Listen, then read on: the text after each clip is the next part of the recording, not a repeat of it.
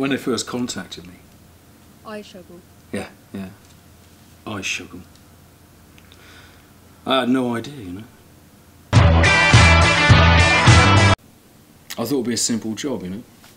Four actors, white screen. I never expected this. They say it's gone viral. It's caused mayhem. I had to change my number. I had to come into work in disguise. The family don't believe me. They say I'm holding out. I feel so helpless. Do you understand what that's like? I know one thing though.